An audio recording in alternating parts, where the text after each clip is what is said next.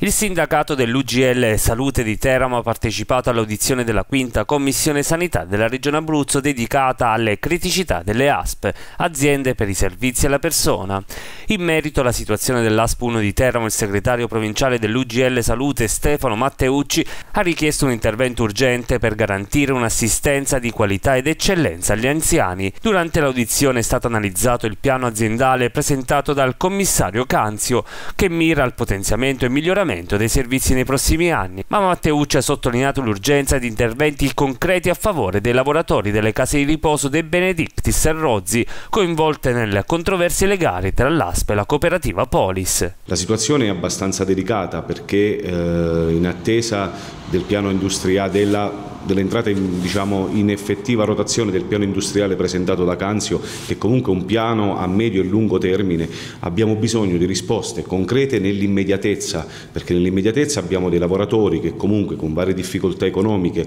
continuano a garantire un servizio di eccellenza agli anziani ospiti delle strutture.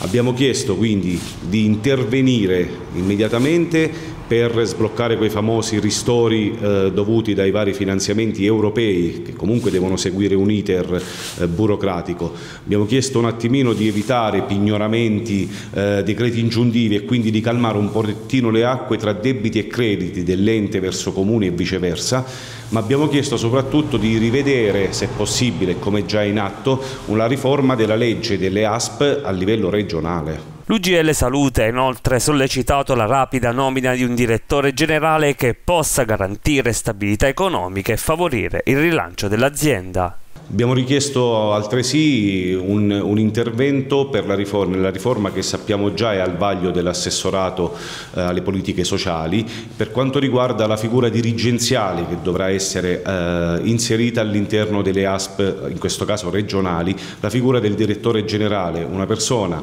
con degli obiettivi, degli stimoli e che possa continuare comunque a portare avanti il discorso di risanamento di quest'ente. Altresì anche l'accreditamento dei posti che speriamo possa possono arrivare nel breve come l'adeguamento anche delle tariffe e delle rette sia a carico dell'utenza che a carico degli enti partecipanti.